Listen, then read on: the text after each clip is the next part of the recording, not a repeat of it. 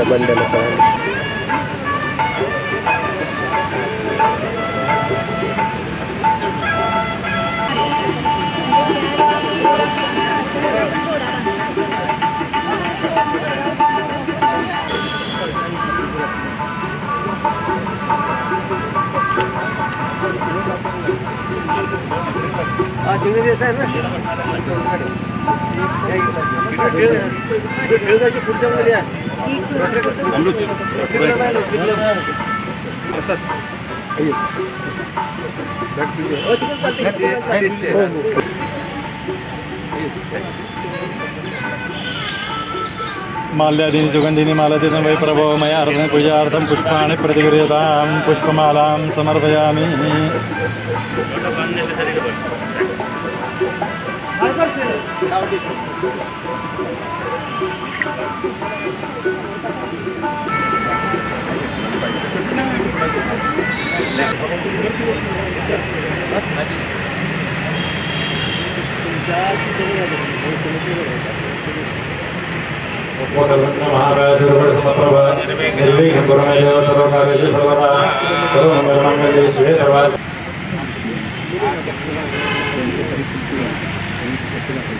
केशवाय नमः नारायणाय नमः माधवाय नमः गोविन्दाय नमः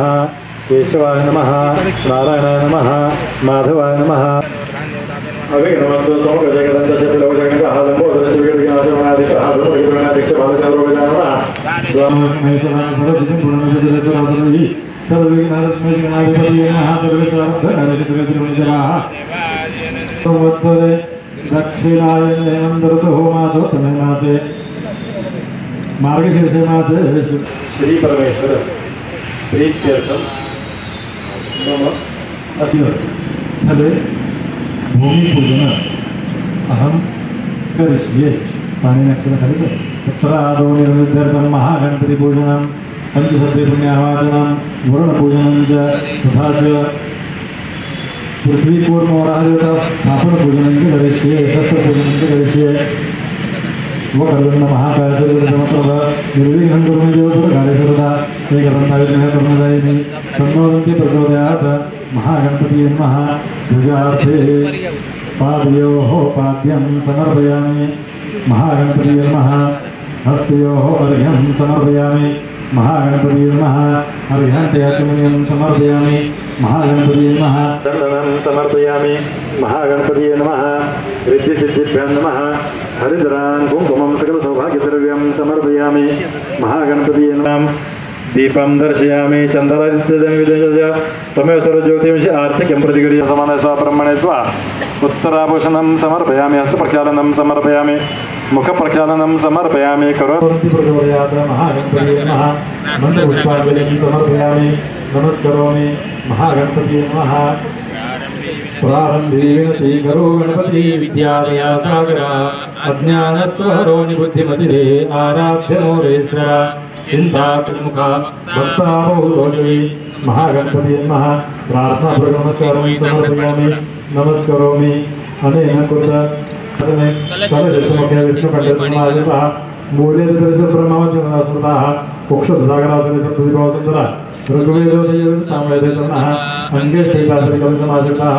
अत्र गायत्री सावित्री शान्तिपीठिकविता आयां पूजासर्गाः गङ्गे यमुने देवोदरसरस्वती नर्मजले शान्तिमन्तु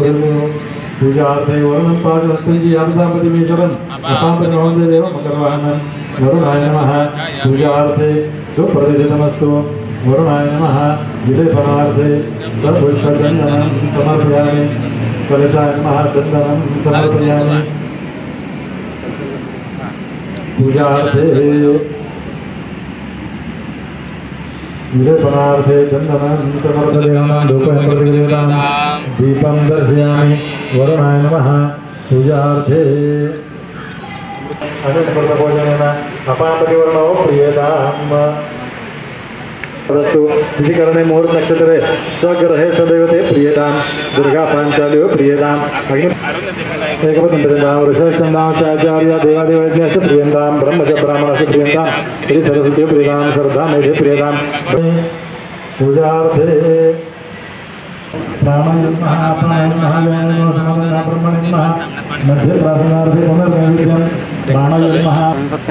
पुढे।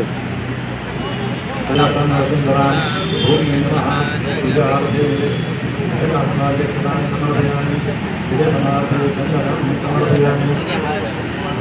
प्राणयन्मः त्याच्या पुढे समर्पयामि ओम नमः पूजार्थे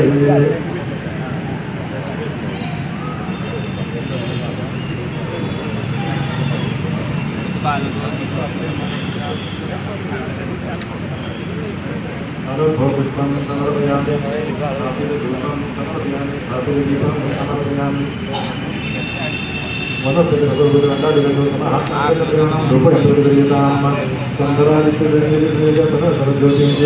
आर्थिकं प्रतिगृह्यताम् आर्थिकदीपं समर्पयामि आपणे स्वाहायामे स्वापरमाणे स्वाहा मध्ये प्रासनार्थे पुनर्निवेद्यं प्राणः स्वाहा स्वाहा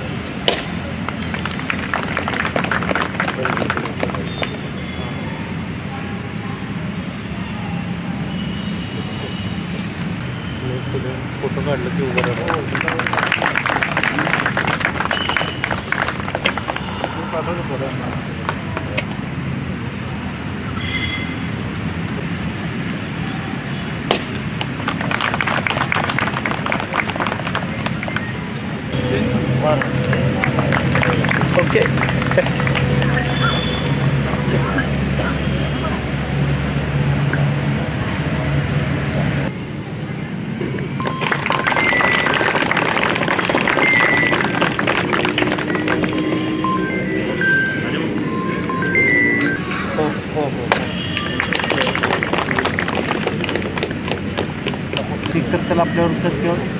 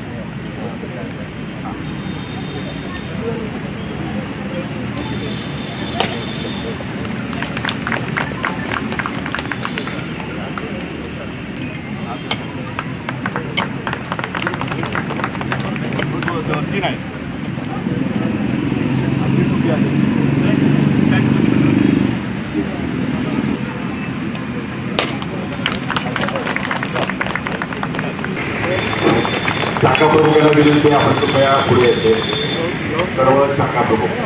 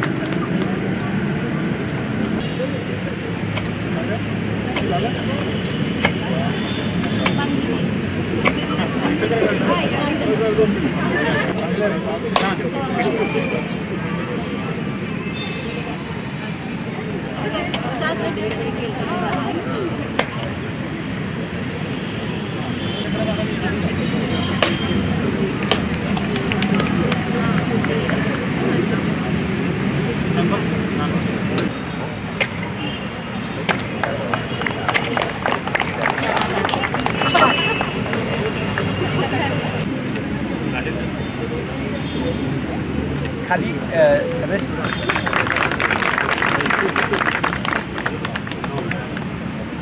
खाली सर बसला तर असं बरं होईल. ओके. ठीक आहे.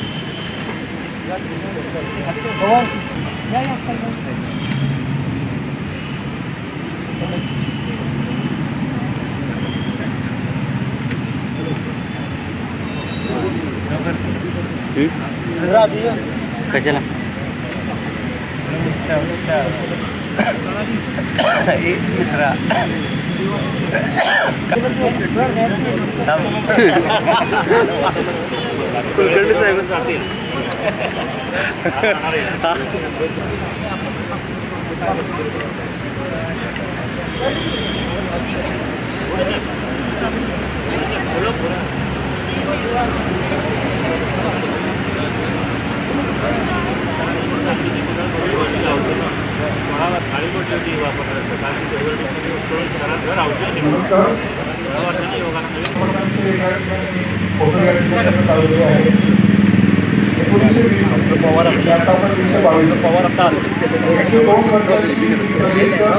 इकडे बघा.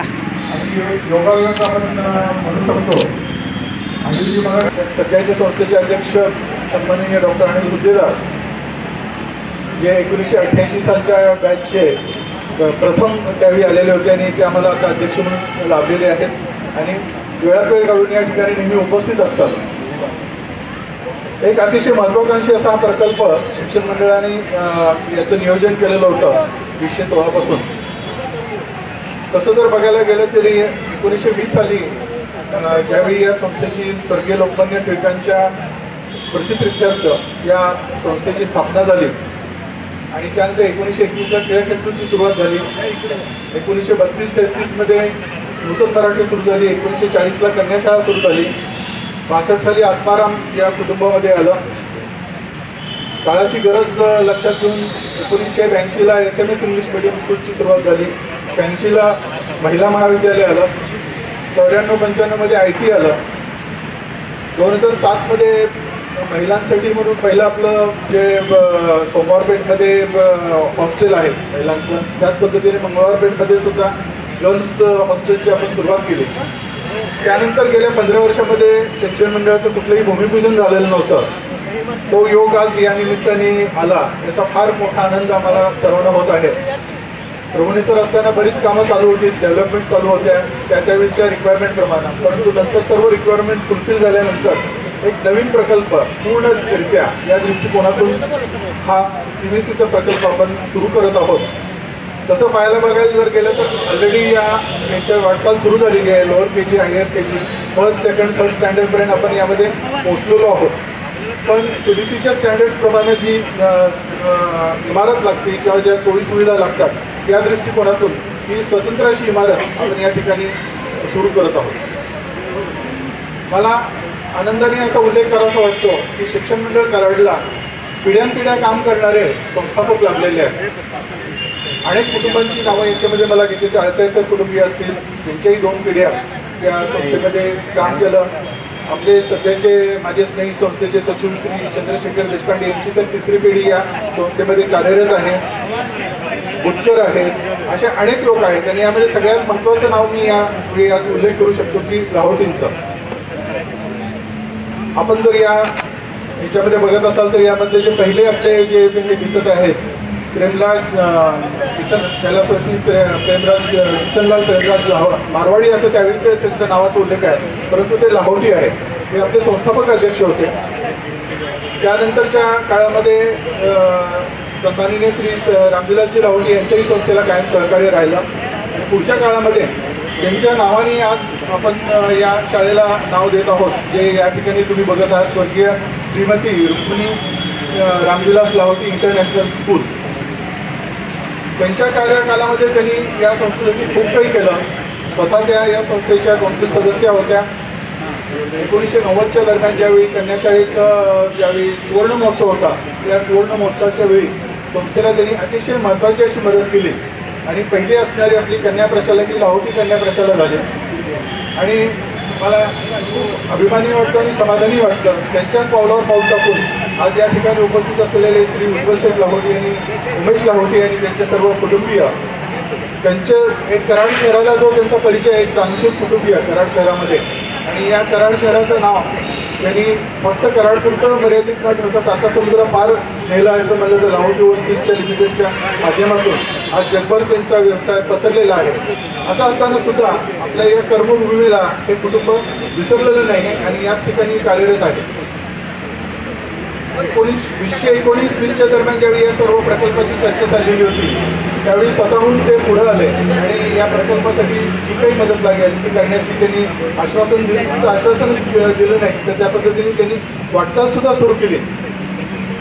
वीसशे वीस एकवीस बावीस आपल्याला माहिती आहे या कोविडच्या याच्यामुळे दोन तीन वर्ष हा प्रकल्प जे बाकीच्या पूर्तता असतात कागदोपत्री पूर्तता असतील शासनाच्या पूर्तता असतील किंवा इतर काही परमिशन्स असतील या दृष्टिकोनातून याची वाटचाल सुरू झाली. परंतु प्रत्यक्ष आता हा दिवस ब, ब, प्रत्यक्ष काम सुरू करायला आज आजपर्यंत आम्हाला थांबायला लागलं. निश्चितपणे आता आज नुसतं भूमिपूजन झालं नाही तर इथं पुढे या प्रकल्प प्रकल्पाचं काम अतिशय गतीने पूर्ण होईल याची मी तुम्हाला खात्री देतो. खरं तर ते शिक्षण मंडळाच्या कुटुंबियांपैकीच आहेत. शिक्षण मंडळ हे शेवटी मग देशपांडे असतील लाहोटे असतील कुलकर्णी असतील किंवा आणखीन कोणी असतील. याचाच एक पार्ट शिक्षण मंडळ आहे. आणि या शिक्षण मंडळातले आज हे सर्व आपण कुटुंबातले सदस्य या ठिकाणी उपस्थित आहात. आमचे सर्व हितचिंतक आहेत. या सर्वांच्या सहकार्याने आज एकशे दोन वर्ष आपण एकशे दोन वर्षामध्ये आपली वाटचाल चालू आहे. आणि अशाच पद्धतीने ती पुढेही वाटचाल चालू राहील याची मी तुम्हाला खात्री देतो. Central board of secondary education केंद्रीय ब- जे म्हणतो आपण म्हणजे सीबीएसईचा जो एक सुरुवात जी झाली होती. माझ्या माहितीप्रमाणे एकोणीसशे बासष्टमध्ये त्याची सुरुवात झाली. आणि आज जागतिक स्तरावर फक्त भारतीय स्तरावरच नाही तर एक्झाम कंडक्ट करणारं टेन्थ आणि ट्वेल्थची एक्झाम कंडक्ट करणारं ते नीटची एक्झाम कंडक्ट करणारं एक अतिशय जगमान्याचं जगमान्य असं हे बोर्ड आहे.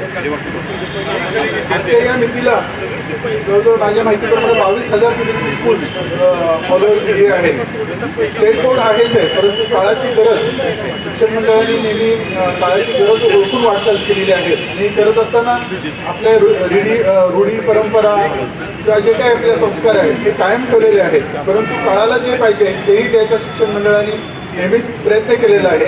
आणि या दृष्टिकोनातूनच आज या सीबीसी माध्यमाच्या शाळेची सुरुवात होत आहे. शहराला किंवा या परिसराला अतिशय मध्यवर्ती अशा या आशा असणाऱ्या या ठिकाणी या शाळेचं बांधकाम सुरू होत आहे. की जे निश्चितच पालकांना किंवा त्यांच्या विद्यार्थ्यांना निश्चित सोयीचं राहील.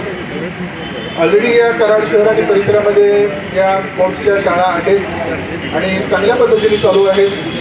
माझ्या त्यांनाही शुभेच्छा त्यांनी वाटचाल सुरू केलेली आहे आणि आता आम्ही त्यांच्यासोबत ही वाटचाल सुरू करत आहोत. आणि ज्या पद्धतीने इतर सर्व शाखांचा गुणवत्ताच्या याच्यावरती जसं प्रगती झाली त्याच पद्धतीने या शाळेची सुद्धा किंवा या नवीन प्रकल्पाची सुद्धा प्रगती होईल याची मला खात्री आहे. मी गावठी कुटुंबाचे आभार मानत नाही. आनंद व्यक्त करतो कारण ते part and parcel of families आहेत. असंच या पद्धतीने आपल्या सर्वांच्या शिक्षण मंडळाला सहकार्य प्रेम आणि आशीर्वाद राहतील भविष्यात याची मला खात्री आहे. एवढंच बोलून मी थांबतो. या प्रकल्पाचं जे स्थापत्य डिझायनिंग किंवा आर्किटेक्चर जे आहे ते मुळी आणि स्पर्धा वैद्य स्पर्धा कुलकर्णी यांनी केलेलं आहे. तर थोडंसं त्या बाबतीत या ठिकाणी आपण जर बघाल तर या ठिकाणी या साईडला हे डिझायनिंग लावलेलं आहे. त्या बाबतीतली थोडीशी माहिती त्यांनी द्यावी अशी मी त्यांना विनंती करतो. पदाधिकारी लाहोटी सर आणि सगळे उपस्थित लोकांना. हा जो तुम्हाला बोर्डवर दिसतो आहे हा शताब्दीचा प्रोजेक्ट आहे आमचा स्कूलचा हा जेव्हा प्रोजेक्ट पहिल्यांदा आमच्याकडे आलेला माझ्याकडे आणि आर्किटेक्ट प्रणील मुळीकडे तेव्हा आम्हाला खूपच आनंद झालेला की आम्ही एक शताब्दीचा प्रोजेक्ट करतोय. सो आम्हाला एक चान्स मिळणार होता की आम्ही काहीतरी अविस्मरणीय करू शकतो आणि काहीतरी असं की जे कराडसाठी एक शाळेच्या मानाने काहीतरी दिमागीदार किंवा काहीतरी असं जे विसरू विसरणार नाहीत लोक. असं करू शकतो. जेव्हा हा आमच्याकडे प्रोजेक्ट आला तेव्हा आमच्याकडे सगळे जे शिक्षण मंडळाचे प पदाधिकारी आहेत चेअरमॅन सर सेक्रेटरी सर त्यांनी एक पूर्ण म्हणजे काय म्हणतात एक पूर्ण आयटनरी एक पूर्ण लिस्ट केलेली की त्यांना काय पाहिजे या प्रोजेक्टमध्ये त्याच्यामुळे आम्हाला त्यांचा एक पूर्ण असा चिकित्सक विचार होता की त्यांना काय काय पाहिजेत काय काय रिक्वायरमेंट आहेत आणि बोर्डचे काय काय रिक्वायरमेंट आहेत स्कूलच्या की स्कूल सुरू करण्यासाठी जे सगळ्या गोष्टी असतात त्या काय काय रिक्वायरमेंट ते पूर्ण त्यांनी आम्हाला दिलेलं आहे. तर जेव्हा हा प्रोजेक्ट आला तेव्हा आम्ही त्याचा स्टडी करायला लागलो की आपण हा प्रोजेक्ट कसा एक अविस्मरणीय आणि एक लक्षात राहील असा प्रोजेक्ट करू शकतो. आणि कराडसाठी ह्याचं एक नाव होईल ह्या पद्धतीने करू शकतो. तर आम्ही थोडंसं ॲज आर्किटेक्ट आमचं स्टडी करणं किंवा बॅकग्राऊंडमध्ये विचार करणं कुठलाही प्रकल्प करताना हा आमचा एक स्वभाव आहे. की तो कसा छान होईल आणि तो कसा जास्तीत जास्त इंटरनॅशनल लेवलचा होईल हे करणं आमचा विचार आहे. तर आम्ही त्याच्यामध्ये हिस्ट्रीमध्ये गेलो थोडं. तर हिस्ट्रीमध्ये असं आहे की जेव्हा आपलं स्वत आपण इंडिया स्वतंत्र झाली भारत स्वतंत्र झाला तेव्हा जेव्हा नवीन शाळा आणि संस्था सुरू झाल्या तर त्या टाईमला त्या वेळी असे खूप मोठे आर्किटेक्ट्स होते किंवा आपलेच खूप सारे लीडर्स होते जे बाहेरनं शिकून आलेले. आणि ज्यांनी बाहेरचे इंटरनॅशनल इन्स्टिट्यूट्स बघितलेले. सगळे कशा अस पद्धतीने शाळा असतात कॉलेजेस असतात हे त्यांनी बघितलेले आपल्या लिडर्सनी आणि तेव्हा ते हळूहळू जेव्हा स्वतंत्र झालं भारत तेव्हा ते डिझाईन इकडे आणायला लागले. की इंडियाचं पण भारताचं पण जे म्हणजे एक ओव्हरऑल लुक आहे इन्स्टिट्यूशन्सचं वगैरे. ते रिफ्लेक्ट करावं की आम्ही पण एक इंटरनॅशनल लेवलचे आहोत असं. तर तेव्हा अहमदाबाद दिल्ली बँगलोर सगळीकडे अशी प्रकल्प व्हायला लागलेले की जे मोस्टली इंटरनॅशनल आर्किटेक्ट्सनी डेव्हलप केलेले. आणि जर तुम्ही बघाल तर ही बिल्डिंग एक्सपोज कॉन्क्रीटची बिल्डिंग आहे. त्याला काही कलर नाही आहे हा एक्सपोज कॉन्क्रीटचा नॅचरल लुक आहे या बिल्डिंगला आणि आत एक्सपोज ब्रिकचं काम आहे आता तुम्ही जर कुठलेही इंटरनॅशनल स्ट्रक्चर्स बघितले तर जास्त करून या दोन मटेरियलमध्ये झालेले आहेत. आज तुम्ही हा प्रकल्प जर कुठेही गुगलवर टाकला किंवा कुठेही असला तर तुम्हाला तो एक म्हणजे टोकियोमध्ये यू एसमध्ये मिलानमध्ये जे प्रकल्प होतात त्या लेवलचा हा प्रकल्प तुम्हाला वाटेल की अच्छा हे कराडमधलं तर नाहीच आहे. म्हणजे तुम्हाला हे विश्वासच नाही होऊ शकणार की असं काही कराडमध्ये होऊ शकतं. पण आम्हाला पण विश्वास नव्हता की असं काही कराडमध्ये होऊ शकतं किंवा असं काही असे विचार म्हणजे शिक्षण मंडळाचे पदि पदाधिकारी चेअरमॅन सर सेक्रेटरी सर आणि लाहोटी सर हे म्हणजे विचारात घेतील की असं काही एक नॉर्मल शाळा कारण की हे सगळं बजेटचं काम आहे. की हे सगळं जे आम्हाला बजेट प्रोव्हाइडेड आहे त्यामध्ये बसवायचं आहे आणि इंटरनॅशनल जे काम असतात ते बजेटसाठी फ्रेंडली नसतात. म्हणजे ते बजेटमध्ये होतील असं नाही आहे पण आम्ही खूप त्याच्यावर चिकित्सकपणे हा आमचा प्रपोजल होता. आम्ही एक दोन प्रपोजल दाखवलेले. चेअरमॅन सरांना सेक्रेटरी सरांना. पण हा असा असा प्रोजेक्ट होता किंवा हे असं डिझाईन होतं की जे ते विसरूच शकत नव्हते किती आम्ही सारखं विचार करतो की कसं आपण हे गोष्टीला बजेटमध्ये बसू शकतो करू शकतो. तर आम्ही त्यांनी खूप चिकित्सकपणे खूप विचार करून खूप एक्झिस्टिंग आत्ता जे स्ट्रक्चर आहे टिळक हायस्कूलचं ते आणि आमचं आता जे नवीन स्ट्रक्चर होणार आहे त्याचं एक अमलगमेशन किंवा त्याचं एक मिलन करून की आपण कसं ती जी रिक्वायरमेंट आहे स्कूलची ती पूर्ण करू शकतो. हे करून आम्ही ह्या प्रकल्पावर आलो. आता जे सगळे स्ट्रक्चर तुम्हाला मी जसं म्हणले की आफ्टर भारत स्वतंत्र झाल्यानंतर जे स्ट्रक्चर्स अहमदाबादमध्ये like I M Ahmedabad in मॅनेजमेंटचे institutions किंवा चार्टर्ड अकाउंटंटचे इन्स्टिट्यूशन मेडिकल इन्स्टिट्यूशन्स हे खूप म्हणजे खूप मोठे इन्स्टिट्यूशन्स इंडियामध्ये झालेले आणि ते सगळे इन्स्टिट्यूशन्स ह्या प्रकारच्या ह्या डिझाईन थेअरीमध्ये झालेले आहेत. की ते एक मॉन्युमेंट वाटावं. एक असं चिन्ह वाटावं की बाबा हे एक हे स्ट्रक्चर जे आहे हे खूप अविस्मरणीय स्ट्रक्चर आहे. आणि तुम्ही कधीही इथनं एकदा पण गेला तर ते स्ट्रक्चर तुम्हाला असं नाही वाटणार की तुम्ही विसरू नाही शकणार ती गोष्ट. असे मॉन्युमेंटच्या हिशोबाचे ते स्ट्रक्चर झालेले. तर त्याच हिशोबचं आम्ही एक त्याच डिझाईनच्या विचाराने करायचं एक स्ट्रक्चर विचार केलेलं ते हे होतं. ही बिल्डिंग पूर्ण एक्सपोज कॉन्क्रीटमध्ये आत एक्सपोज ब्रिकचं स्ट्रक्चर आहे. ह्याला आम्ही जे स्कूल्सचे रिक्वायरमेंट्स होते जे क्लासरूमचे रिक्वायरमेंट होते आम्ही मिनिमम जास्तीत जास्त व्हेंटिलेशन नॅचरल व्हेंटिलेशन जास्तीत जास्त नॅचरल लाइट आणि जास्तीत जास्त असे कॉरिडोर्स ज्याला लाइट आपल्या बिल्डिंगला पूर्ण दिवस वापरावंच नाही लागणार इलेक्ट्रिसिटी ह्या प्रकारचे नॅचरल लाइट आणि व्हेंटिलेशनचा विचार केलेला आहे. आणि ते आम्ही ह्या प्रोजेक्टमध्ये दिलेलं आहे. ॲक्च्युली जी रिक्वायरमेंट होती आणि ही जी जागा आहे ह्याच्यामध्ये स्टुडंटसाठी एक मधलं असं ऑडिटोरियम किंवा काय म्हणतात एक एकत्र येऊन काही प्रो प्रोग्राम करायची जागा आम्हाला मिळत नव्हती. तर आम्ही ते पण ह्याच्यात बसवायचा प्रयत्न केलेला आहे की एक सेंट्रल असं ऑडिटोरियमसारखं होईल की जिथे लो स्टुडंट्स एकत्र होऊ शकतात. त्यांचे सकाळचे प्लेज वगैरे जे असतात स्कूलमध्ये ते सगळे होऊ शकतात. असं पण केलेलं आहे.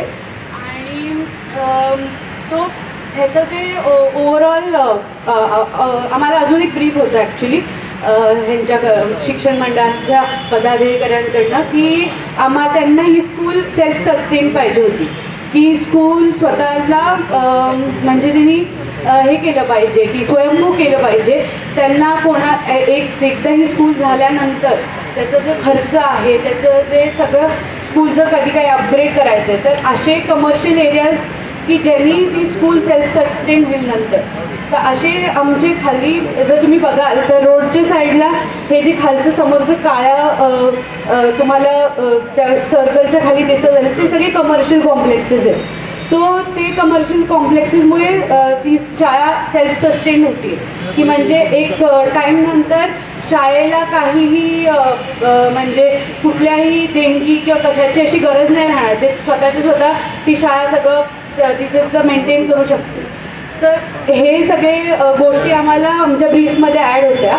आणि सो ॲक्च्युली हे सगळं शिक्षण मंडळांचे जे चेअरमॅन आणि सेक्रेटरी ज्यांचं एवढं चिकित्सकपणे अभ्यास आहे आणि ज्यांनी आम्हाला इतक्या वेळा आम्ही रिवाईज केला आणि त्यांच्या आणि असं आमच्या आम्ही जेव्हा ह्या डिझाईनवर काम करत होतो आम्हाला आमचं विचारत नव्हतं की त्यांना एवढं नॉलेज असेल पण त्यांना एवढं नॉलेज एवढे वर्ष शिक्षण मंडळात काम करून की आम्हाला खूप गोष्टी आम्हाला शिकायला मिळाल्या की अरे हे पण आपल्याला अपग्रेड केलं पाहिजे किंवा आपल्याला हा ब्रीफ तसा लक्षात घेतलं पाहिजे.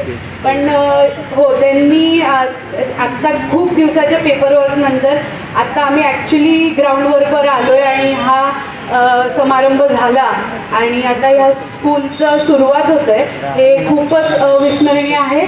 आणि मला मी निश्चितपणे तुम्हाला सांगते की जेवढ्या एक दोन वर्षात जेव्हा ही शाळा होईल तुम्ही हा प्रोजेक्ट आणि हा क्षण नेहमी लक्षात ठेवाल की आपण ह्या भूमिपूजनाला होतो आणि आता ही शाळा अशी जशी दिसते तशी झाली आहे आणि हा एक खूपच अविस्मरणीय प्रोजेक्ट होणार आहे. शताब्दीच्या हिशोबाचा प्रोजेक्ट होणार आहे. की हा शंभर वर्ष शाळेचा म्हणजे शताब्दीचा हा महोत्सव आहे आणि त्याचा हा प्रोजेक्ट आहे. आणि हे ॲक्च्युली ट्रॉफीसारखा प्रोजेक्ट आहे. जो मा आम्ही तर खूपच आम्ही तर खूपच मी आणि आर्किटेक्ट प्रणील मुळेकर आम्ही तर खूपच काय आम्ही सांगू शकत नाही आम्हाला किती आनंद आहे या गोष्टीचा. काही बोलावं असा काही भारतचा कार्यक्रम असा नाही. अनौपचारिक आपला कौटुंबिक कार्यक्रम आहे. तिथं कुणीच बाहेरचं नाही आहे सगळे शिक्षण मंडळाच्या कुटुंबाचा भाग आहे. आनंदाची गोष्ट एवढीच त्या निमित्तानं सांगावीची वाटते की शंभर वर्षापूर्वी ज्या वेळेला या संस्थेची एकशे दोन वर्षापूर्वी तेव्हा माझी ही वैयक्तिक आनंदाची गोष्ट आहे माझ्याकडे की उज्ज्वलभाई आणि उमेशबाईंचे आजोबा असंच त्यावेळेला भूमिपूजन झालं असेल माहिती नाही आता ते रेकॉर्डला नाही आहे. एकोणीसशे एकवीस साली ज्या वेळेला हे सगळं उभं राहिलं आणि मी काय म्हणतो की किती दूरदृष्टी असेल आत्ता पण उमेशबाईंना मी म्हटलं की तर इथं आलं आणि संस्थेचं मागचं काम बघितलं. तर आपण मी काय करतोय असं म्हणायला भाव नसतो. त्याचे संस्कार आणि सं त्याची एवढी चौकट ठरलेली आहे की मागच्या लोकांनी एवढं प्रचंड मॉन्युमेंटल काम करून ठेवलं आहे त्या दिशेने आपण चालू ठेवलं तरी तरी आपण खूप जिंकली असं मला वाटतं. मी सांगता सांगता थांब विषय बदलला. महत्त्वाचं म्हणजे ज्या वेळेला ह्या शिक्षण मंडळाचं भूमिपूजन झालं त्यावेळेला उमेशभाईंचे आणि उज्ज्वलभाईंचे आजोबा आणि माझे आजोबा हे एकत्र काम करत होते. एवढा मोठा योगायोग आहे की शंभर वर्षानंतर देखील आम्ही आम्ही कुटुंबीय पुन्हा अशाच प्रकारच्या एका भूमिपूजनाला शंभर वर्षानंतर त्यांचे एक नातू आणि आमच्या आजोबांचा नातू म्हणून मी असं प्रत म्हणजे किती गुडविल असेल त्या काळातल्या मला काय आपल्या अकरा लोकांचं कौतुक वाटतं की किती दूरदृष्टी असेल की कराडसारख्या ठिकाणी. म्हणजे मी काय म्हणतो की तुम्ही विचार करून बघा शंभर वर्षापूर्वी एकोणीसशे अठरा साली एकोणीस साली तीस साली कराड कसं असेल? आता सुद्धा तुम्ही बघता. त्यावेळेला देखील किती दोन्हीमध्ये साम्य आहे बघा. की एकोणीसशे सतरा साली जवळपास पहिलं महायुद्ध संपलं आणि त्याच्यानंतर स्पॅनिश फ्लूची साथ आली. आपणही बघतो दोन वर्षापूर्वी कोविडच्या साथीने आकार उडाला होता. पण स्पॅनिश फ्लूचं जर तुम्ही गुगल टाकून बघितलं तर जवळपास भारतामध्ये पन्नास लाख डेथ्स होत्या. त्यामुळे नथिंग कंपेअर कोविडमध्ये असं काही इतका त्याचा लॉस लाईफचा लॉस झालेला नाही. जगामध्ये पाच कोटीचा आणि त्याला उपचार तुम्ही विचार करा त्यावेळेला रस्तेसुद्धा नव्हते करायला यायला. म्हणजे माझी आई सांगायची ती लग्न करून आली त्यावेळेला कन्याशाळेपाशी उतरून आमच्या घरापर्यंत गाडी येऊ शकत नव्हती चालत यायला लागायचं. आणि मला वाटतं त्यावेळेला तुमची म्हणजे लाहोटी कुटुंबियांची आणि कल्याणी कुटुंबियांची दोनच गाड्या कराडमध्ये होत्या आणि बुतकर साहेबांची. बुतकर साहेब आनंद म्हणून म्हणजे या सत्तर वर्षापूर्वीच्या ऐंशी वर्षापूर्वीच्या दोन्ही सांगते मला कराडच्या म्हणजे तुम्ही कल्पना करा त्यावेळेला कराडची स्थिती काय असेल? रस्ते नव्हते. मेडिकल फॅसिलिटीजचा तर तुम्ही विचारच करू शकत नाही अशा ठिकाणी काय असेल. आणि ज्या वेळेला अशी जागतिक साथ नुकतीच आणि चालू असताना अशा स्वरूपाचा काहीतरी निर्णय लोकमान्य टिळकांसारखा अध्वर्यू जो स्वातंत्र्य चळवळीचा आहे त्याच्याकडे लोक आपले बघत होते. आणि महात्मा गांधींचा अजून त्यावेळेला उदय व्हायचा होता. तर जे नेतृत्व होतं तेच काळाच्या पडद्याआड गेलं. तर निर्णायकी अवस्था अशी त्यावेळेला निर्माण झाली असते की कुणाकडे बघायचं देशाने? अशी व्यक्ती त्यावेळेला समोर नव्हती. तर अशा वेळेला या लोकांनी एकत्र येऊन काय ठरवलं तर शाळा काढायची ठरवलं म्हणजे किती कन्सेंट्स असतील किती अडचणी असतील?